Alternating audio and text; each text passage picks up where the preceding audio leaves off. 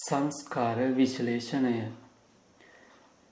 ලක්කන රස පච්චුපට්ඨාන පදට්ඨාන යන සතර ආකාරයන්ට සියලු රූප හා නාම ධර්මයන් හේතුඵල සියලු සංස්කාර බෙද බෙදා දක්වමින් සියුම් ලෙස අවබෝධ කර ගැනීම ලක්කන රස භාවනාවෙහිදී සිදු වෙනවා. එම භාවනාවන් පූජනීය මාහිමිපාණන් වහන්සේ වඩා ලබාගත් ප්‍රතිඵල හා එම අත්දැකීම් එමෙන් වැඩුව ආකාරයන් පිළිබඳව ඒ ඒ දිනයන්හි තැබූ සටහන් වලින් ලබාගත් උද්ෘත කීපයක් පාත පරිදි දක්වනවා. දෙකයි විසිපහ පර්යංක වස්තු රූප සයෙහිම රූපයන්ගේ ලක්ෂණ රසාදිය අජ්ජත් බහිද්ධා වශයෙන් විදර්ශනා කිරීම. අලුයම තුනට අවදිවීම පර්යංකය පංචද්වාරයෙහි ආධ්‍යාත්මික බාහිර කුසල නාමයන්ගේ ලක්ෂණ රසාදිය විදර්ශනාව. තවත් දිනක විසි එක්වැනි කිවිදින පර්යංකවාර පහම සපිරිණි අජ්ජත්ත බහිද්ධා රූපයන්ගේ ලක්ෂණාදිය සම්පූර්ණයෙන්ද කුසල චෛතසික සියල්ලද ලක්ෂණාදී වශයෙන් සම්මර්ෂණය කරන ලදී. විසි දෙවැනි දින පර්යංකවාර පහම සපිරිණි. විඤ්ඥාන සියල්ලද කුසල අකුසල චෛතසික සියල්ලද පටිච්ච සමුපාදංග සියල්ලද සම්බන්ධ ලක්ෂණ රස පච්චුපට්ඨාන පදට්ඨාන ප්‍රගුණ කරමින් සම්මර්ෂණය කරන ලදී.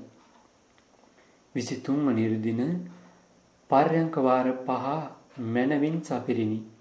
ලක්ෂණ රසාදී සියල්ල සපුරා සම්මර්ෂණය කරන ලදී.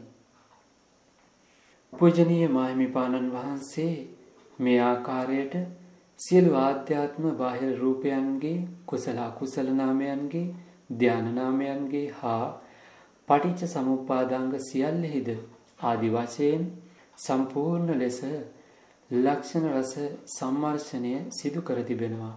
පෙර වඩා ඇති පුරුදුතාවේ නිසාම ඊතා වේගවත්ව එය ප්‍රගුණ කළ අප මාහිමිපාණන් වහන්සේ බොහෝ විට එම ලක්ෂණ ආදිය සම්මර්ෂණය කරමින් විදර්ශනාවටද නංවා තිබෙනවා.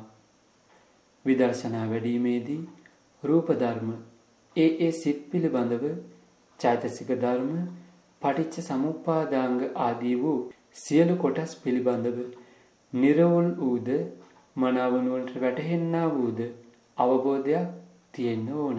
එම ධර්මයන් මේ ලක්ෂණාදී ආකාර හතරට අනුව විග්‍රහ කරමින් සිතට කාවද්දා ගැනීමෙන් ඒ අවබෝධය වැටහීම ඇති වෙනවා. එපමණක් නොව ඒ නාමරූප හේතුඵල ධර්මාදිය මෙලෙස සතරාකාරව බෙදා අවබෝධ කර ගැනීමෙන් ඒ ධර්මයන් තුළ පවා ඇතිවන ඝන සංඥාව ආදිය දුරු වෙනවා. එතකොට පටවි කියන්නේ ආපෝ කියන්නේ එහෙම නැත්නම් පස්ස කියන්නේ වේදනා කියන්නේ මෙන්න මේ දෙයටයි. ඉන් එහා යමක් ඒ රූපය තුල ඒ නාමය තුල නෑ නේද කියලා ඒ ඒ සංස්කාර ගැන වැටහීම ඇති වෙනවා. මේ වගේ නාම රූප හේතුඵල හැර කුමනනම් සත්වයක්ද කියලා ඥාණයෙන්ම අවබෝධ වෙනවා. තවදුරටත් මෙම ලක්ෂණයන් ඔස්සේ නාම රූප හේතුඵලාදිය විදර්ශනාවට නගමින් විපස්සනා ඥානයන්ද ඇති කරගන්නවා. ඒ පිරිසිදු නිර්වාණ මාර්ගය අදත් අප සතුව තිබෙනවා. එහි යෙදීමෙන් මිස නැවත නැවත යෙදීමෙන් මිස එම ධර්මයේ ප්‍රතිඵල ලබා ගන්න වෙන මාර්ගයක් නැහැ.